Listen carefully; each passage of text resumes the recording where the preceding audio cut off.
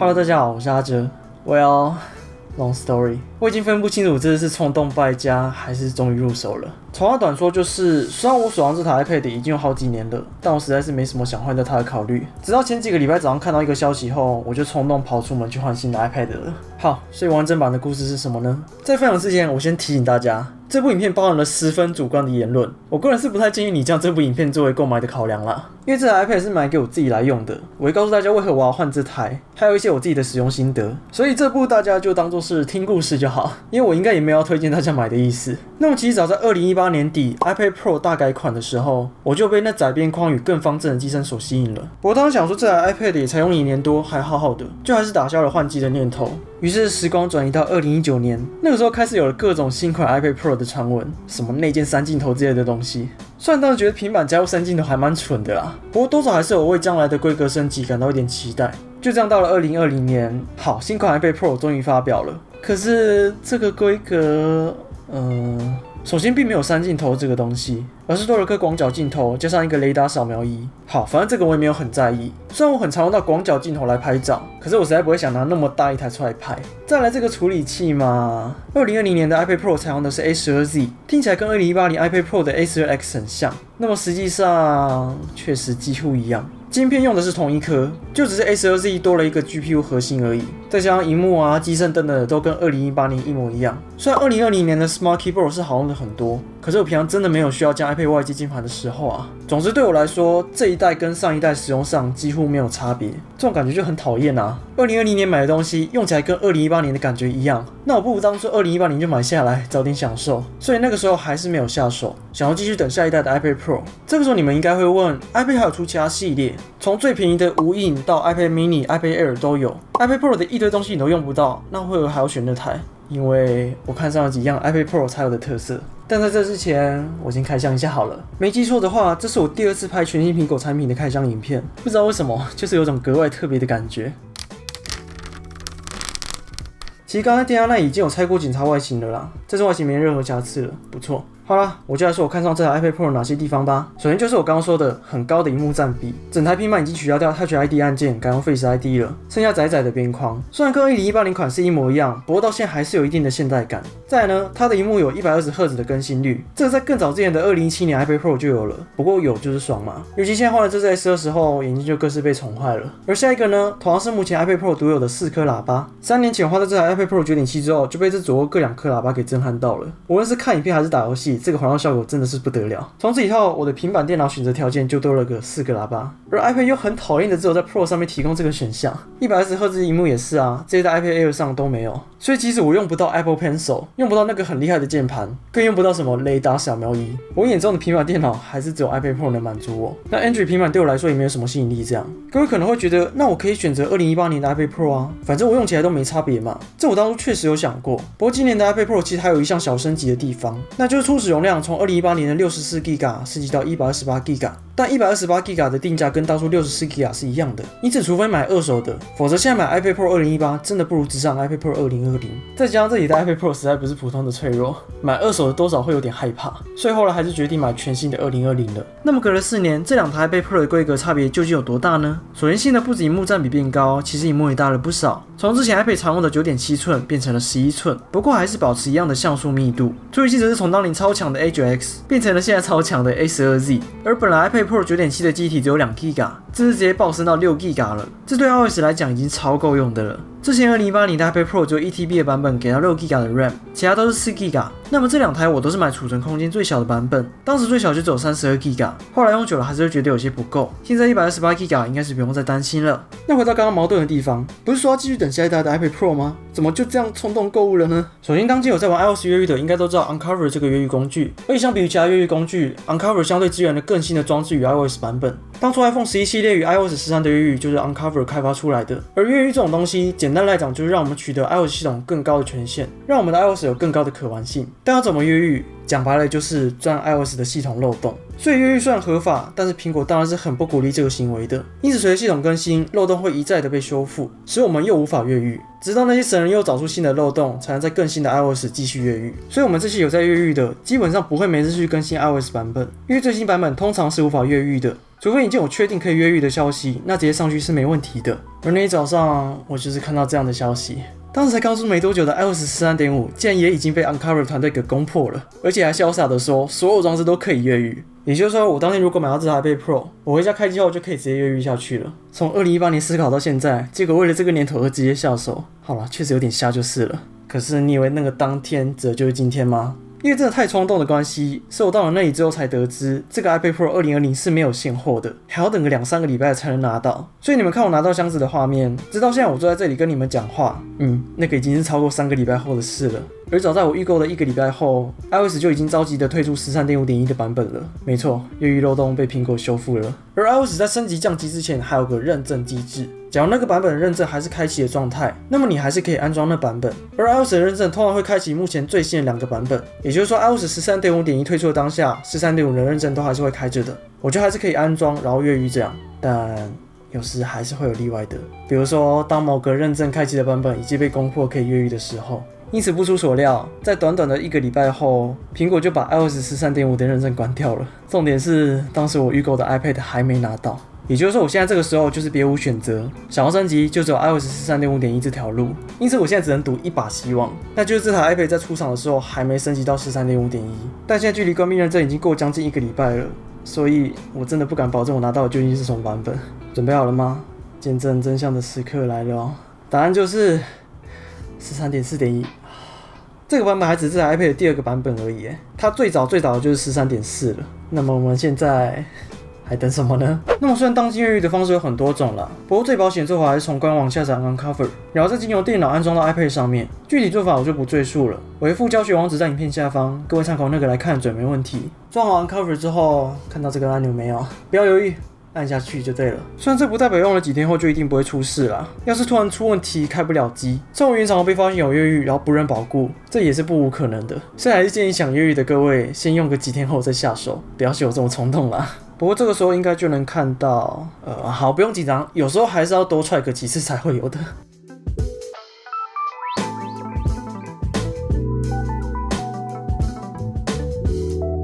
Take two，没错，传说中的 CDR 出现了哦。然后各位应该也发现了，我这次买的是银色款的。等一下，那我人都越狱了，才告诉大家买什么颜色的啦。然后我也顺便买了这个原厂的白色 Smart Folio。没办法，近几年就是比较喜欢白色的东西。不过这颜色一定要好好保养就是了，不要不小心把脏脏的东西粘到上面去。而且二零一八年的 iPad Pro 之后，它的原厂保护壳都改成这种背面也包起来的方式了，不是像原本 Smart Cover 只有盖到正面。虽然新的这种保护更全面啦，不过这样就感受不到背面铝合金的质感了，蛮可惜的。那么我稍微带一下 iPad Pro 二零二零的盒子还有哪些东西，其实就跟二零一八一模一样啦，有 iPhone 十一 Pro 那颗十八瓦 Type C 充电器，还有 Type C to Type C 传输线。因为这两代 iPad Pro 已经改用 Type C 接口了嘛，还顺便把耳机孔给拿掉了。然后就是一些初次使用说说明书跟信仰贴纸等等的，教你怎么开机之类的。虽然现在都已经越狱才看这些，好像也有点太晚了。好啦，开箱部分差不多都介绍完了，接下来我会继续以我的主观感受，去说说我在使用这台 iPad Pro 2020几个礼拜后的感想。那也顺便跟大家分享我安装哪些越狱的插件吧。那么我与 iPad Pro 2020的生活，真是。好，就这样换到了我人生中第三台 iPad。因为懒得用回复之前备份的方式，所以程式跟设定那些的我都要一个一个去搞定。重点是在这之前，我才刚花一个多小时搞好那些越狱的插件。那哪有人先设定好越狱才回来弄基本的东西啦？总之就这样弄了一整个半夜，这台 iPad Pro 也终于成为我的形状了。那么就来告诉各位我用了一个礼拜后的心得吧。首先还是不得不说一件让我蛮失望的事情，因为我拿到了这台 iPad，它的按键松动之大，让我觉得实在不是苹果该有的做工。看不出来没关系，各位听听看，这个就知道了。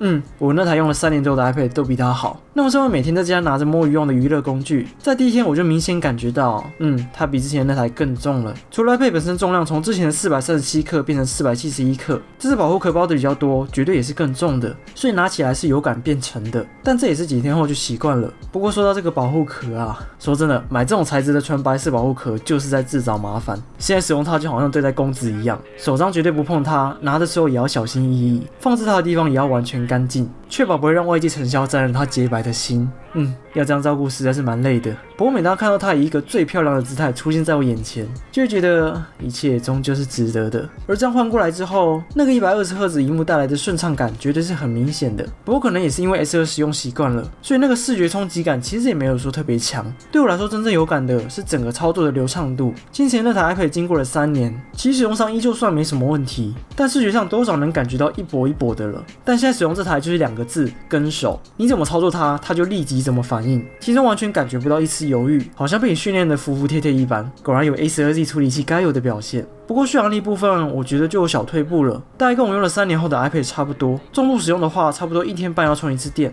不过因为我都放在家，要充的话直接插下去就好，所以也无伤大雅。真要带出去的话，这个续航力也是绝对足够的。再来，许多人都知道 iPad 的荧幕比例是经典的四比三，但大多数人应该没发觉，这个十一寸的 iPad Pro 是个极少数的例外。是的，它其实是比四比三还长一点的，来到了十比七的比例。这是我在发表很久之后才发现到的事实。那也因为这样，使得十一寸 iPad Pro 成了更适合看线上漫画的机器。因为漫画的比例在这一幕上面是几乎能填满的。虽然好像也不会有人在意这点小事情就是了。不过之所以变成这样的比例，我猜可能也是因为上下边框变窄了，为了别让机身比例看起来太胖，才会将荧幕拉长一点的。但上下边框变窄也代表一个事实，那就是我要与熟悉的 Touch ID 道别了。虽然我原本那台 iPad Pro 采用的是第一代的 Touch ID，解锁速度不快，但相比于现在的 Face ID，我还是比较喜欢之前的 Touch ID。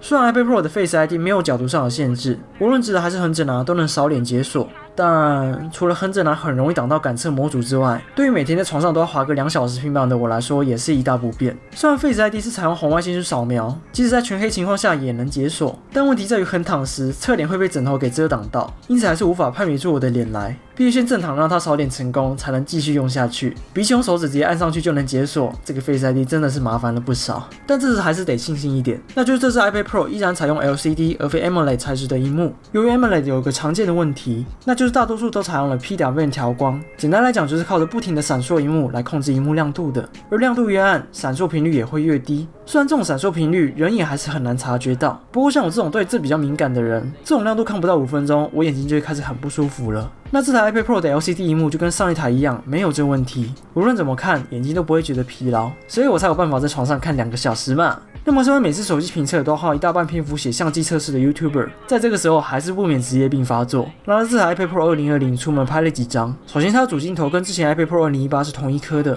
表现差不多是 iPhone 8的水平。以现在手机的标准来讲，或许不是特别出色，不过人家是一台平板电脑，要求就不要那么多了吧。在它配备的超广角镜头拍起来是这样的，也是有一定的水准啦。再来，iPad Pro 2020也跟 iPhone 11一样，主镜头跟超广角镜头都支援 4K 60fps 录影，不过因为没有光学防抖，所以录起来是很晃的。只不过它也是有 HDR 录影的哦，想不到吧？而切换到一零八零 P 六十 FPS 后，整个画面也稳定了许多，这应该就是靠软体去防抖的了。不过，这应该也是我最后一次会拿它到外面拍照录影了。一方面，再怎么讲，我手机拍照表现一定还是比它好；另一方面，我不想要只是拍个照就获得众人的眼光，真的太显眼了啦。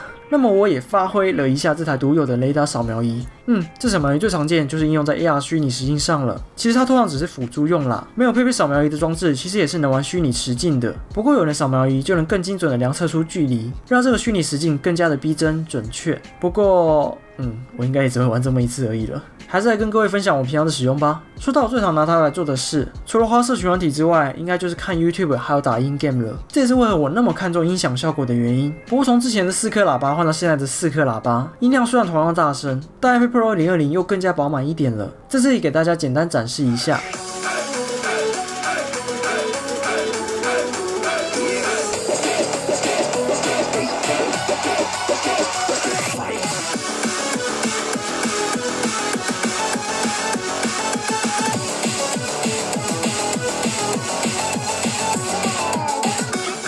如果你听不出其中差异的话也没关系，因为这台三年前的 iPad Pro 确实也真的很棒了，他们的音响表现绝对都不会让你失望的。那么，身为我打 in game 的娱乐用机，除了音响听起来要爽之外，还有一个更大的考验，那就是触控。in game 非常吃重一台装置的触控优良度，能准确接收这些多根手指快速的连续点击、滑动，没出任何差错，才称得上适合打 in game 的装置。那么，我之前在 iPad 的触控有一个通病，那就是会偶发性的出现共振的情形。简单来讲，就是会将一次的点击辨识成两次，从而误判定到下一个音符，造成冤枉的扣分。而且有趣的地方在于，贴上保护贴之后就不会有这问题了。但我就是不太想贴嘛。因此换到这台 iPad Pro 之后，我也实在很好奇，在不贴东西的情况下，它能有多少能耐，所以准备好接受我的压力测试喽。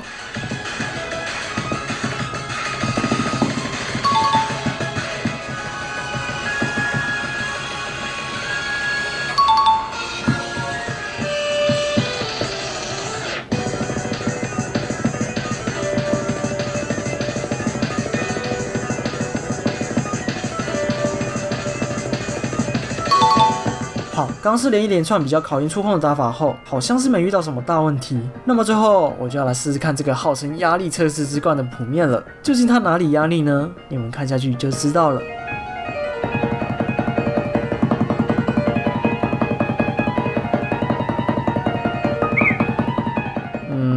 本来前面还可以的，结果到后面就惨不忍睹了。这谱面可是同时考验了会不会共振，以及会不会因为超近距离的零点而吃感应。结果共振的问题倒是还好，反而这个感应真的是被吃到饱了。给各位看一下合格的例子。正常来讲，每一颗音符都要准确判定到，不要少判定，也不要多判定一次，不然就会像刚刚那样一整串都爆掉。不过算了啦，至少我这样玩下来，其他大部分的谱面都是完全没问题的。碰到某些支援一百二十赫兹的游戏，打起来就更是爽快了。OK，游戏部分结束，接下来就是各位期待的部分了。虽然说 iOS 发展到现在，已经有越来越多实用功能加了进来，尤其是当机强化许多的 iPad OS，真的让我有种 iPad 能做越来越多事的感觉。但还是有不少内容是当今 iOS 本身还不开放给你的，所以还记得我一开始讲的吧？我来介绍一些实用的 iOS 越狱插件，至于如何越狱以及软体人怎么新增等问题，因为篇幅关系我就不说了，各位就多多爬文吧。好了，让大家看看我是如何让这台 iPad Pro 变得更好用的吧。首先，我之前就有说过一个很不能理解的地方，那就是 iOS 从十一到现在，这个控制中心的 WiFi、蓝牙开关都是没办法完全关闭的。